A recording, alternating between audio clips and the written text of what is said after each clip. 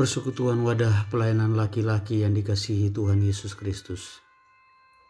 Selamat sore dan shalom.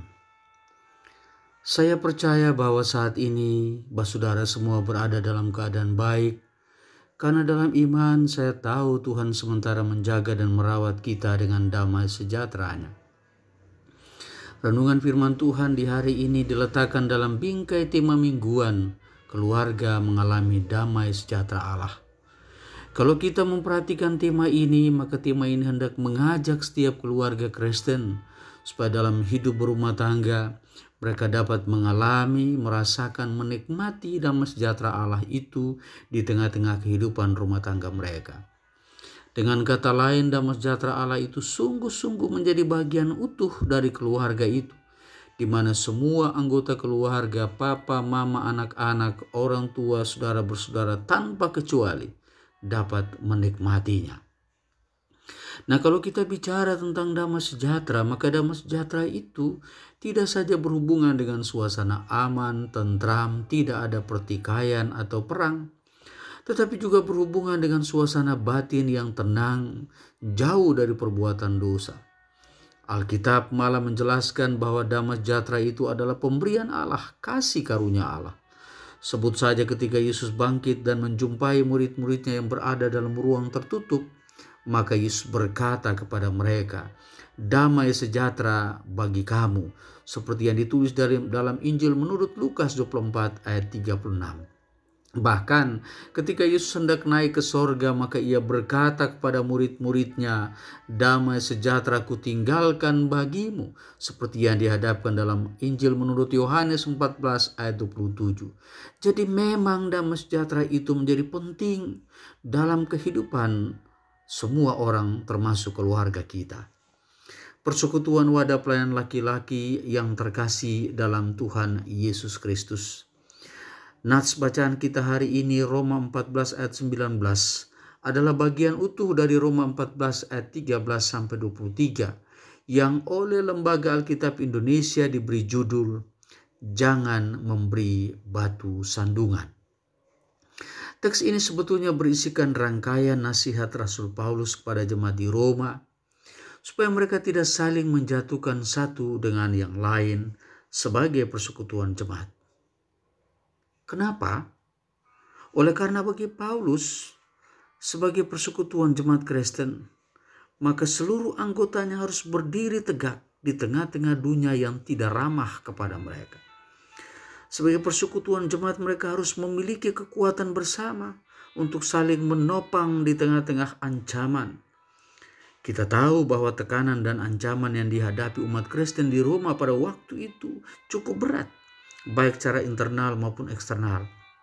Nah, bagi Paulus, salah satu aspek penting yang dapat menjadi kekuatan yang memampukan mereka menghadapi tekanan dan ancaman itu adalah apabila jemaat tidak hidup terpecah-pecah. Sebaliknya mereka harus hidup rukun di dalam persekutuan yang saling menghargai dan menghormati satu dengan yang lain. Pada sisi yang lain, kalau mereka berada dalam persekutuan yang saling menghormati dan menghargai satu dengan yang lain, maka pasti tidak akan terjadi sikap saling menghakimi satu sama lain, khususnya terkait dengan kepelbagaian perilaku keagamaan dalam kehidupan bersama. Misalnya, ada sikap melecehkan mereka yang lemah imannya dalam persekutuan hidup bersama, di mana karena Kelemahan iman itu, mereka yang lemah imannya itu hanya memakan jenis-jenis makanan tertentu saja.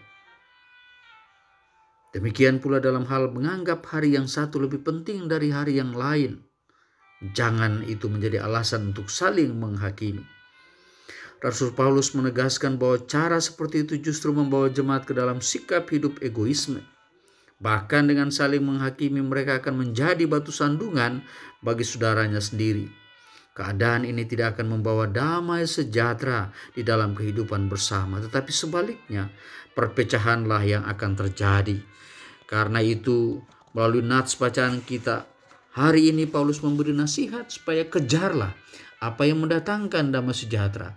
Pakailah segala kemampuan yang ada pada diri masing-masing orang untuk hidup saling membangun. Oleh sebab itu, Kalau saling menghakimi itu tidak mendatangkan damai sejahtera, janganlah kau kejar, hindarilah. Kalau sikap saling menghargai dan saling menopang satu dengan yang lain adalah suatu yang baik untuk menghadirkan damai sejahtera, maka kejarlah. Tapi kalau kebencian dan iri hati itu tidak menghadirkan damai sejahtera, jangan kau kejar, hindarilah. Tetapi kalau pengampunan dan cinta kasih itu menghadirkan damai sejahtera, maka kejarlah persekutuan wadah pelayan laki-laki yang dikasihi Tuhan Yesus Kristus. Belajar dari firman Tuhan ini. Maka sebagai laki-laki gereja kita diingatkan bahwa kita juga bertanggung jawab untuk menghadirkan damai sejahtera Allah itu dalam persekutuan hidup bersama. Baik sebagai persekutuan jemaat maupun persekutuan masyarakat. Dan upaya itu mesti dimulai pertama-tama dari keluarga kita masing-masing. Bagaimana caranya? Tebarlah cinta kasih, tumbuhkanlah sikap saling menghargai satu dengan yang lain, berilah pengampunan bagi mereka yang karena kelemahannya melakukan hal yang melukai hati kita. Beri perlindungan bagi mereka yang lemah, termasuk lemah dari sisi ekonomi.